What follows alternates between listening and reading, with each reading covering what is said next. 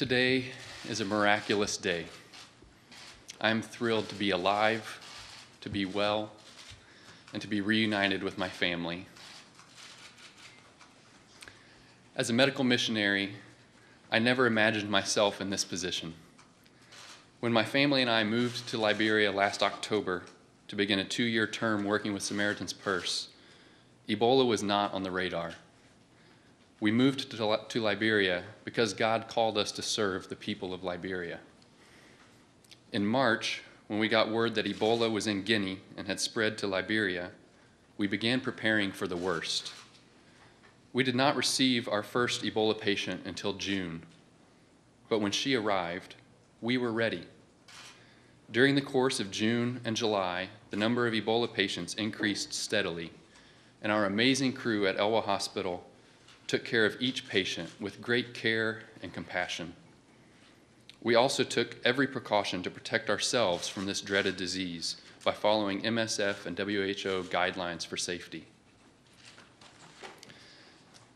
After taking Amber and our children to the airport to return to the States on Sunday morning, July 20th, I poured myself into my work even more than before. Transferring patients to our new, bigger isolation unit, training and orienting new staff, and working with our human resources officer to fill our staffing needs. Three days later, on Wednesday, July 23rd, I woke up feeling under the weather. And then my life took an unexpected turn as I was diagnosed with Ebola virus disease. As I lay in my bed in Liberia for the following nine days, getting sicker and weaker each day, I prayed that God would help me be faithful even in my illness. And I prayed that in my life or in my death, that He would be glorified.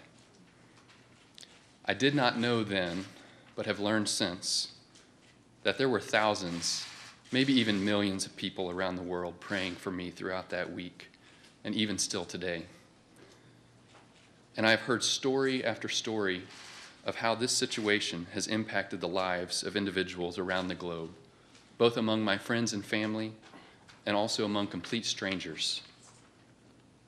I cannot thank you enough for your prayers and your support.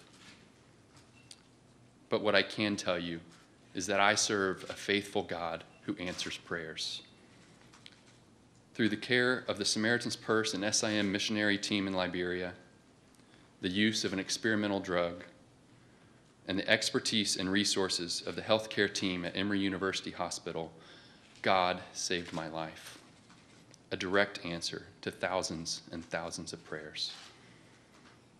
I am incredibly thankful to all of those who were involved in my care from the first day of my illness all the way up to today, the day of my release from Emory.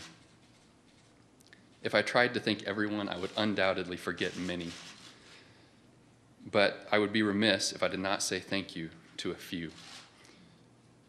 I want to thank Samaritan's Purse, who has taken care of me and my family as though we were their own family.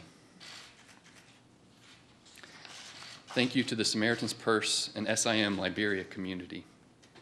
You cared for me and ministered to me during the most difficult experience of my life and you did so with the love and mercy of Jesus Christ.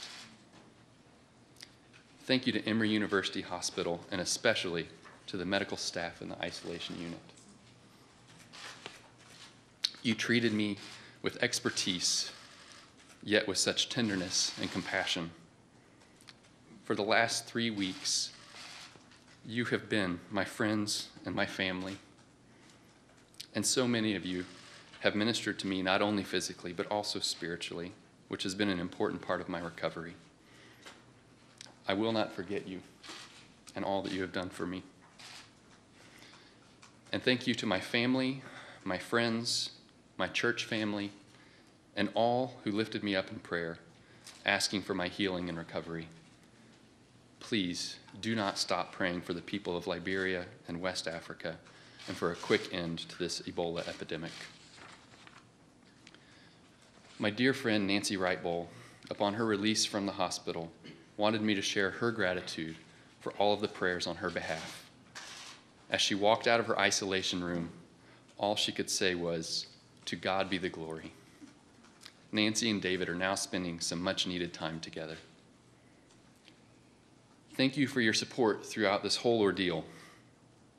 My family and I will now be going away for a period of time to reconnect, decompress, and to continue to recover physically and emotionally. After I have recovered a little more and regained some of my strength, we will look forward to sharing more of our story. But for now, we need some time together after more than a month apart. We appreciate having the opportunity to spend some time in private before talking to some of you who have expressed an interest in hearing more of our journey. Thank you for granting us that. Again, before we slip out, I want to express my deep and sincere gratitude to Samaritan's Purse, SIM, Emory, and all of the people involved in my treatment and care. Above all, I am forever thankful to God for sparing my life. And I'm glad for any attention my sickness has attracted to the plight of West Africa in the midst of this epidemic. Please continue to pray for Liberia and the people of West Africa and encourage those in positions of leadership and influence to do everything possible to bring this Ebola outbreak to an end. Thank you.